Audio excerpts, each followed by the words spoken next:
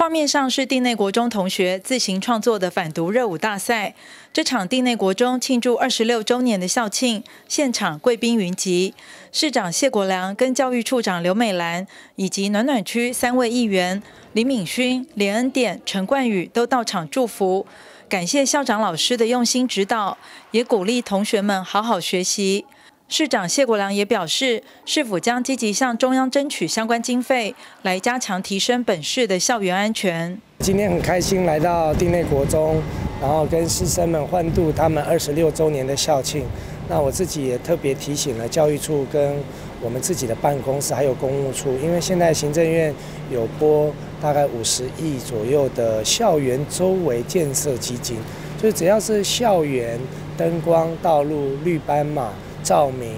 啊，然后还有校舍，其实呃只要有申请，基本上呃他们都是从宽予以协助办理。因为现在强调的就是校园周边的安全的环境的建制，所以照明就可以提升安全。那好的路啊，呃这个标示清楚，而且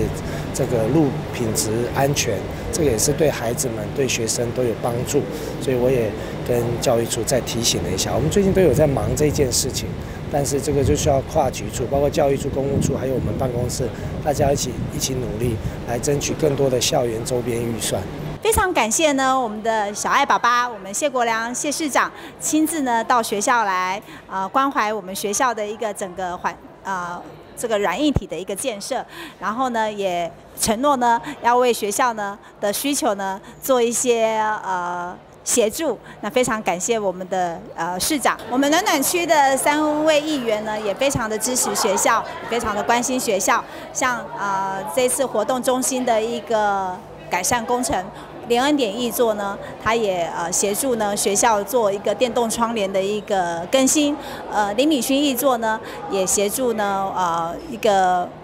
防护垫的一个提供，然后来。协助学校来维护我们这个得之不易的呃媲美 NBA FIBA